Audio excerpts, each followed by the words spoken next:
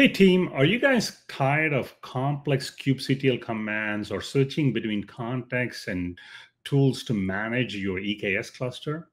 Today, I'm going to walk you through the AWS EKS MCP server.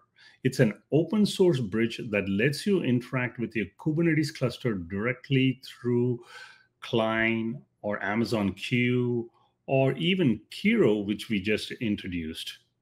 This MCP server makes EKS management so intuitive and very conversational. So let me walk you through on how this is done.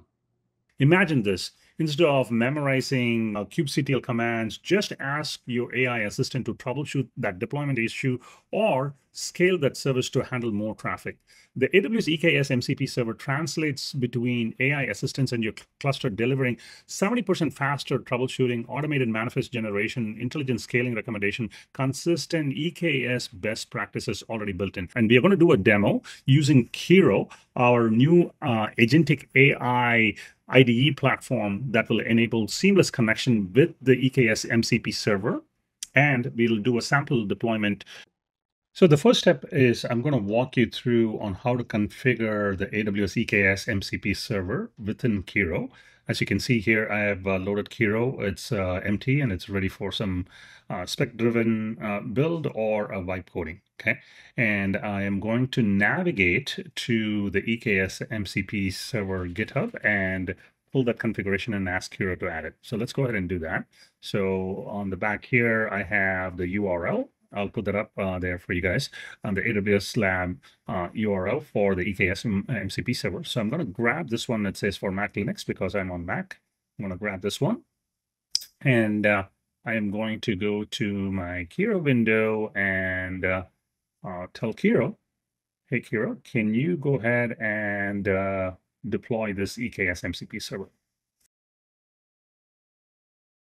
And then I'm going to paste the JSON file and let's see what uh, Kiro does. And as you can see here, uh, Kiro is saying that I will help you uh, to add the EKS MCP server to your profile. And you can see here, it's saying EKS MCP server connecting, and uh, it is uh, already connected.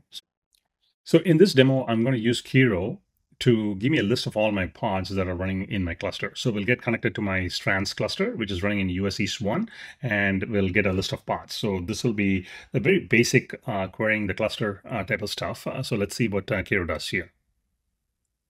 So it's calling the MCP tool and getting the list of uh, uh, the resources. So as you can see that it uh, figured out that I have the strands cluster and it also lists all the pods uh, that are running on my uh, EKS cluster. There are about uh, 19 pods that are running. In the next step, I'm going to show you how easy it is to deploy a workload into the EKS cluster using the EKS MCP uh, server plugin.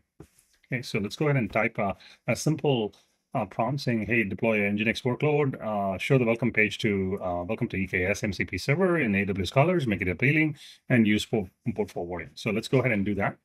So Kiro is off to work and it's going to create a custom Nginx uh, deployment with a styled welcome page and cluster IP for port forwarding. So it's creating this uh, Nginx custom welcome.html file right now. And you can see that it uh, just popped that out here at the top. And then uh, it goes on to create the YAML file as well. So that will show up here in a second. And then it'll go ahead and deploy that and it'll check back here in a second.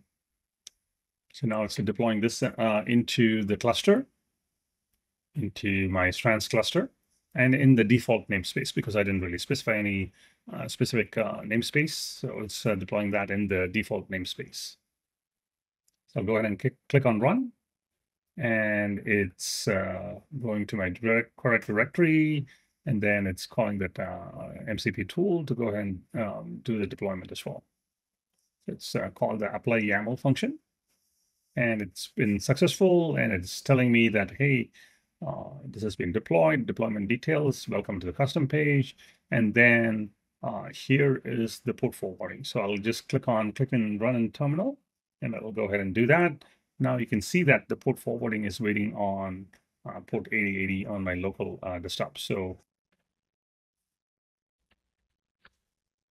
and there we go. Uh, it's a nice, beautiful uh, welcome to EKS MCP server running on uh, Amazon EKS. The cluster is uh, healthy, Nginx running, MCP is connected, and all of that. So it's a very easy way to showcase how easy and powerful it is to use the EKS MCP server and use your natural language processing to give commands to an IDE like uh, Amazon Kiro. Hopefully you can put this to use and there will be uh, many more examples to come in the future that I'll show you guys a demo on.